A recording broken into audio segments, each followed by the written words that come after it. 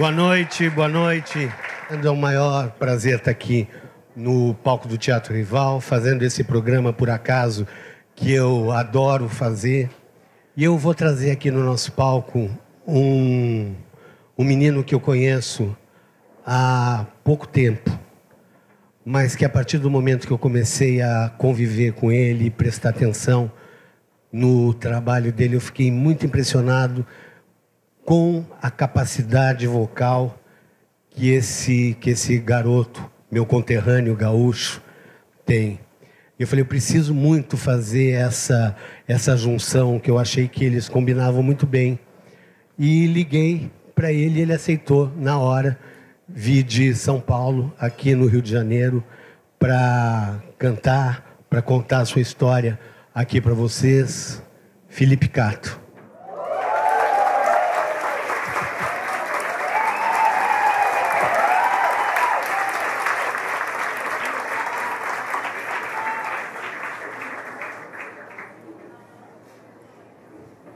Ele hoje está arrasando, né? Todo de branco. Você viu só? Tá lindo, hein?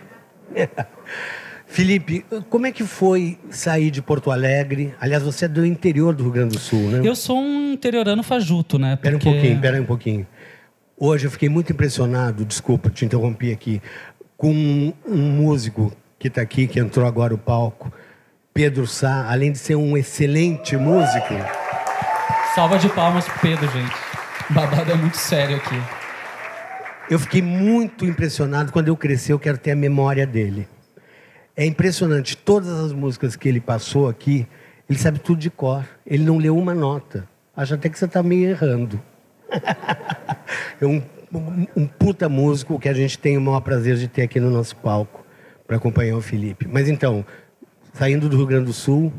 Então, né, foi isso. A verdade, a minha mãe, é, ela é do interior, minha família toda por parte de mãe é do interior do Rio Grande do Sul, de um lugar tão longínquo que não tem nem nome, eu acho, o lugar que ela nasceu, porque era uma, uma comunidade rural, perto de Lajeado, perto de Marques de Souza, que é onde eu nasci. É, e uma loucura, porque a minha mãe já morava com meu pai em Porto Alegre, começou a ter as dores do parto, não tinha dinheiro. Foi tipo isso, pegou o carro louca, desembestada, andando 300 e poucos quilômetros para ter o filho no interior, que é onde ela conseguia pagar a maternidade e foi lá que eu nasci lá, fui registrado em Lajeado, que é a cidade vizinha. E mas sempre morei em Porto Alegre. Então, tipo, eu sou um porto-alegrense. E você começou a tua carreira, eh, eu sei, pequeno, cantando por aí, mas começou em Porto Alegre. Porto Alegre. Você já cantou música nativista? Não Meu assim, Barroso. profissionalmente. Eu acho até que seria muito legal fazer isso. Acho que está na hora de eu, de eu trazer um pouco mais. É que eu tenho uma memória afetiva do Rio Grande do Sul, que ela é muito ligado ao meu pai, assim, porque o meu pai canta muito bem e cantava isso para mim. Então, canta lembro... na região aguda ou grave? O meu pai canta médio. Eu, meu pai e meu irmão, a gente tem é, uma voz bem parecida até, só que com gradações de... diferentes, assim, né? E, e, foi isso, assim. E aí ele cantava algumas coisas nativistas, é, coisas que são muito enraizadas na nossa cultura, né? Tem umas que eu lembro muito, que é aquela... É, a clássica. Berenice Zambuja. Sei. Churrasco, bom chimarrão, fandango, trago e mulher. É, é isso, isso que, que, o velho gosta, é, é isso que o velho quer. É isso aí. Já que você está cantando, uh, quando a gente estava pensando nas músicas, você falou assim: ah, eu quero cantar o meu hit.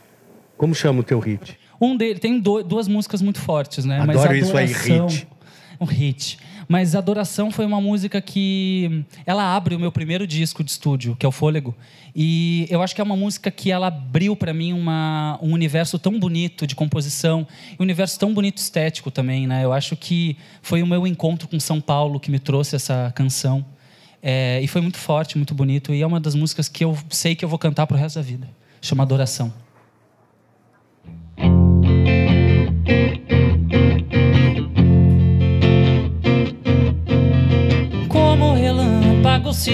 Passe de milagre, você me pintou. Me toma em teu compasso, que só no teu abraço que eu me escondo do mundo. Pele que é pele, não mente, não esconde, não dissimularia.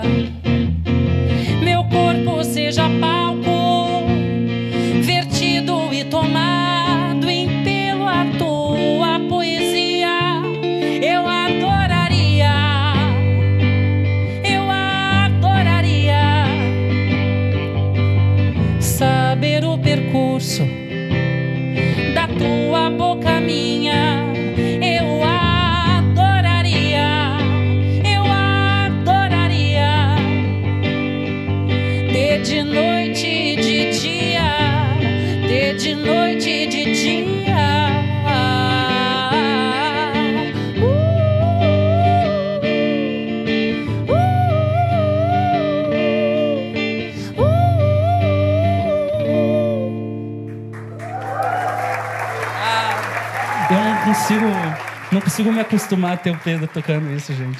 É muito luxo. Agora, o, o, a semelhança com, com o Ney Mato Grosso, por causa da, do, do, timbre agudo, é inevitável. Sim. Uh, isso em algum momento te atrapalhou? Nem um pouco. Nem um pouco, nunca atrapalhou, porque eu acho que existe uma coisa. É, é muito importante que as pessoas elas te saquem para saber se elas gostam ou não gostam de você. No caso, é, é claro que todas as comparações e todas as loucuras são loucuras das pessoas. Isso não, não diz respeito às minhas escolhas artísticas ou às minhas escolhas pessoais. É, mas para mim é uma grande honra, porque sempre que as pessoas me comparavam ao Ney desde o início, acho que isso agora passou bastante também já.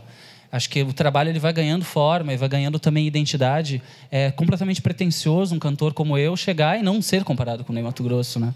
É impossível isso acontecer, porque o Ney é um mito. E o Ney é um grande mito que é tão foda que ele, ele vive no palco dele isso é, ele colhe o tempo inteiro os louros de ser esse mito, esse grande artista. Eu acho que o Ney, o cara, assim, para mim, ele tá como um David Bowie, sabe? Eu acho que é por aí a parada. E é muito pouco, eu acho, é, o, é muito pouco é, limitar nesse lugar, claro, da voz. Eu acho até o fato de eu ser intérprete. Isso tem mais a ver até do que com qualquer outra coisa. As escolhas de, de, de grandes canções para vozes, né? Mas eu nunca me incomodei porque, de certa forma, é uma maneira que as pessoas tinham de me dizer que gostavam do meu trabalho. Então, como é que eu vou achar isso ruim? É claro que é um, existe um limite entre você acreditar demais no aval e de você querer buscar alguma coisa que não é sua. E a música, para mim, é, uma, é um raio-x da, minha, da minha parada. Eu tenho que ter, eu, sei que as coisas elas têm o seu tempo, elas não vão acontecer do dia para a noite, elas não vão acontecer no instante que você abre a boca e canta a primeira nota. E nem essa relação com o público se dá dessa forma. Hoje eu me sinto é, melhor artista e mais feliz do que nunca fazendo o meu trabalho, que eu sei que é fruto de tudo que eu ouço, tudo que eu não ouço, tudo que eu assisto, tudo que eu vivi. Impossível você ser, não só eu, mas é impossível você ser intérprete no Brasil, intérprete no mundo, e não saber e não ter Ney Mato Grosso na sua, no seu repertório, assim como não ter Maria Bethânia, ou não ter Elis, Milton, Caetano, esses caras são os nossos totens. E a gente tem que ter todo o respeito a, a, essa história. E não só a história. Eu acho que o fato desses caras estarem fazendo é, um trabalho maravilhoso, o Ney sempre é surpreendendo, porque é uma, um artista incansável, né?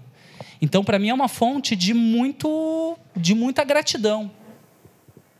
Agora, a música, principalmente nos últimos dez anos, ela vem sofrendo uma mudança em todos os aspectos.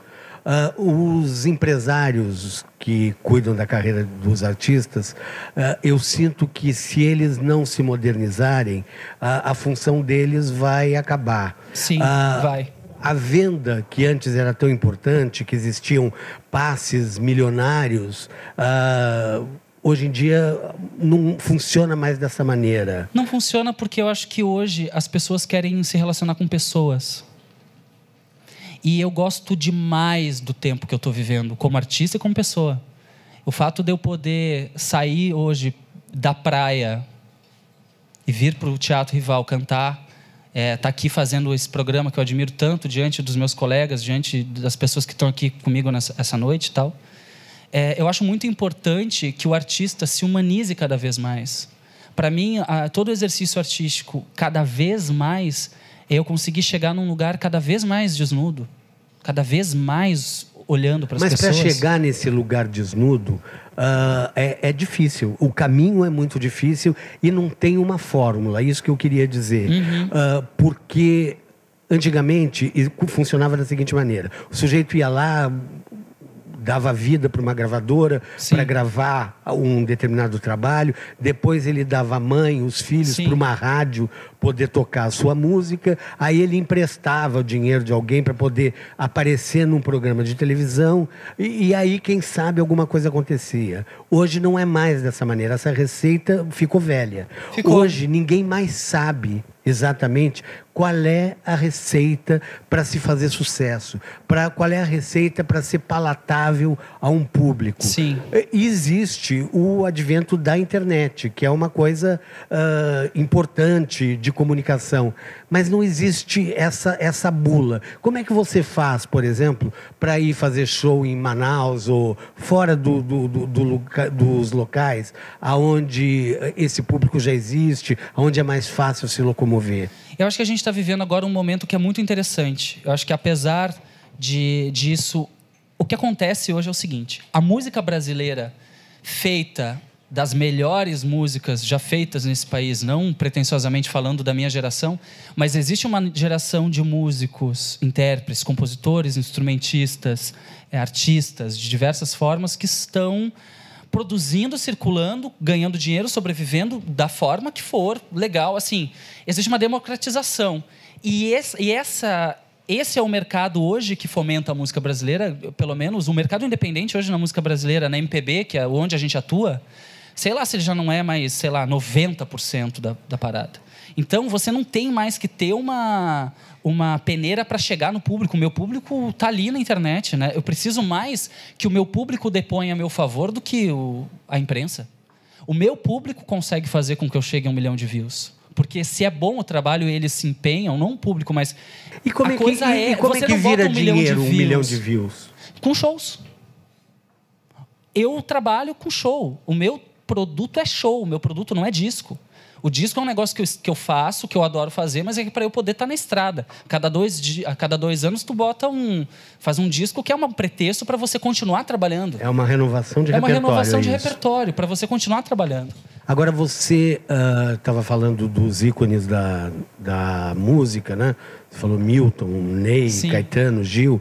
Uh, mas a gente estava conversando sobre repertório e você sugeriu cantar uma música e eu adorei você ter lembrado uh, dessa música do Luiz Bonfá. Sim. Que é Manhã de Carnaval. Você canta pra gente? Vamos lá.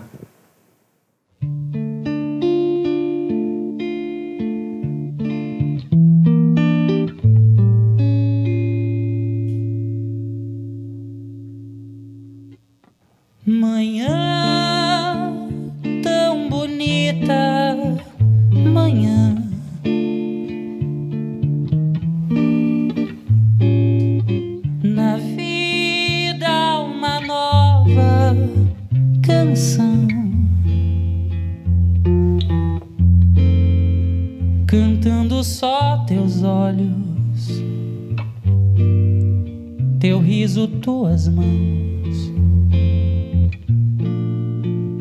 Pois há de haver um dia em que virás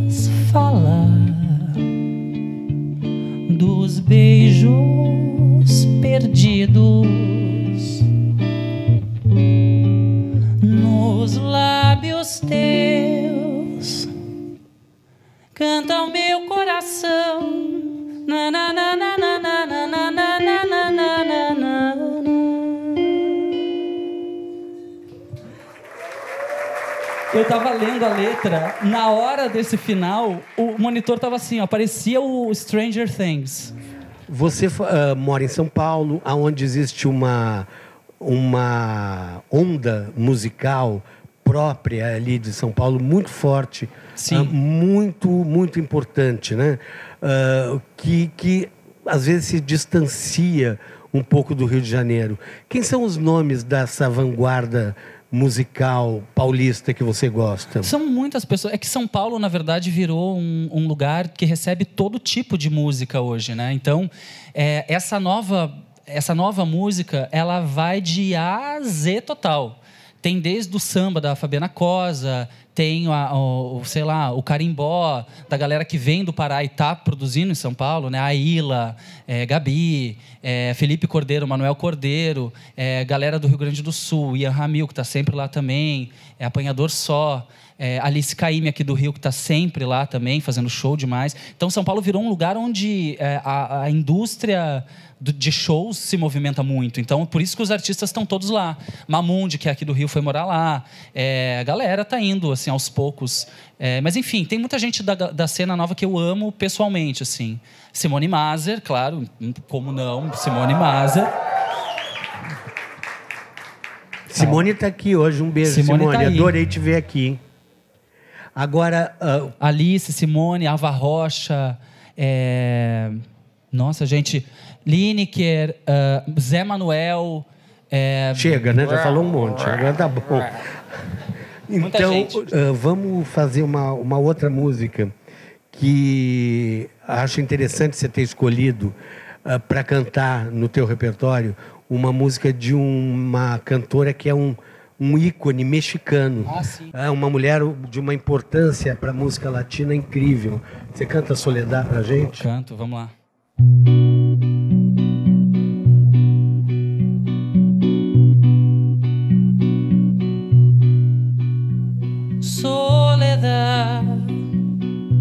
Fue una noche sin estrellas cuando al irte me dejaste tanta pena y tanto mal. Soledad. Desde el día en que te fuiste en el pueblo solo existe un silencio conventual. Soledad. Los arroyos están secos en las calles hay mil ecos que te gritan sin cesar.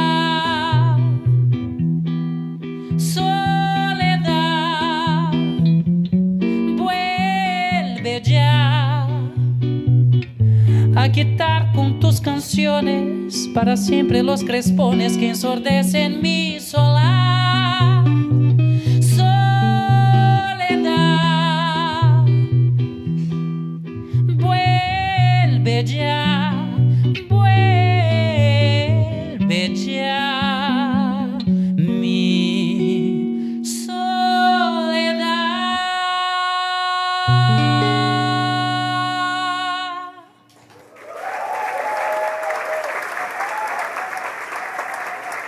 Obrigado.